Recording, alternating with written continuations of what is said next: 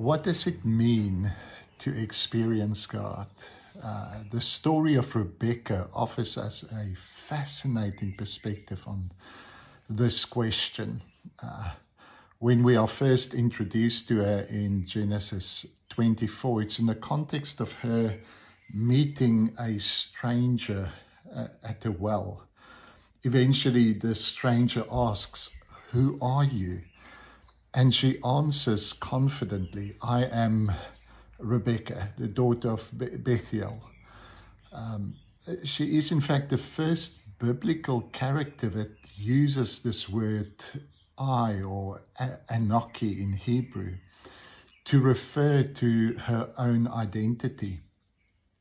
A uh, a few paragraphs further, we find this uh, stranger, which is actually the servant of Abraham.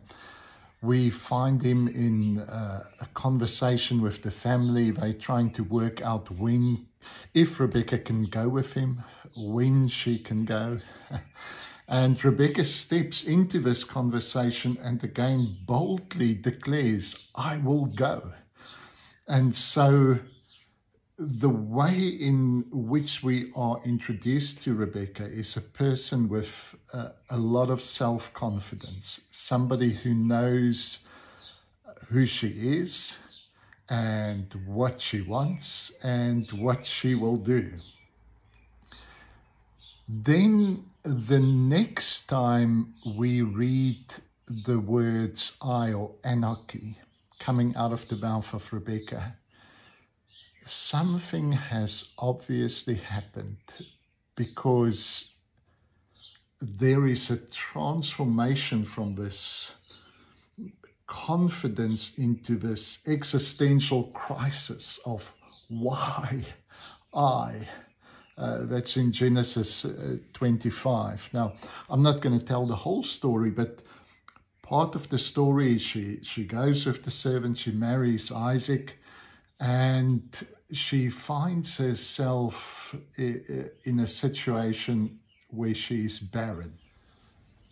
Barrenness introduces a new reality.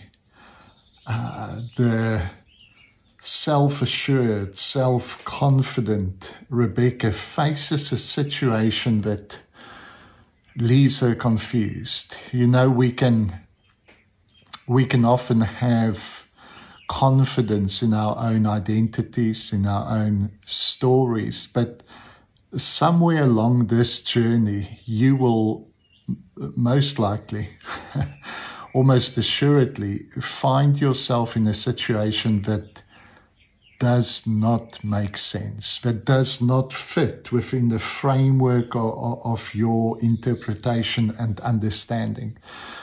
And Rebecca finds herself in that position.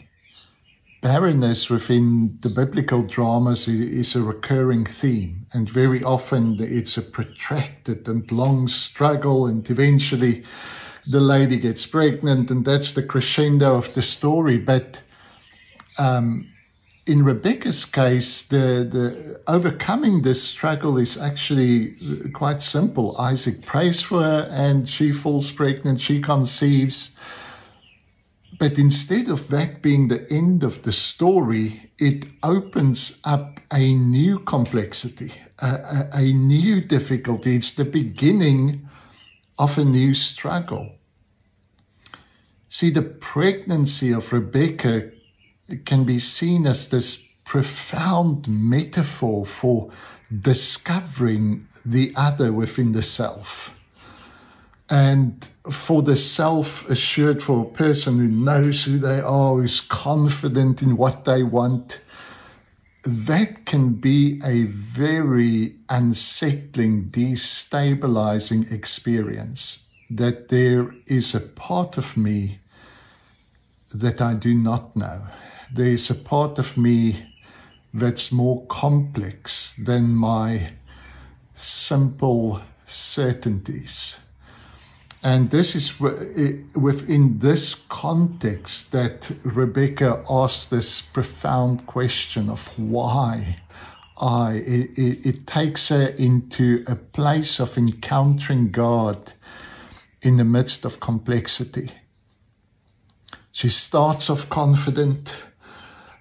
She she goes where she wants to go. She becomes pregnant, the very thing she thought she wanted. But at that point, where the very thing she thought she wanted happens and she has it, she realizes it does not satisfy.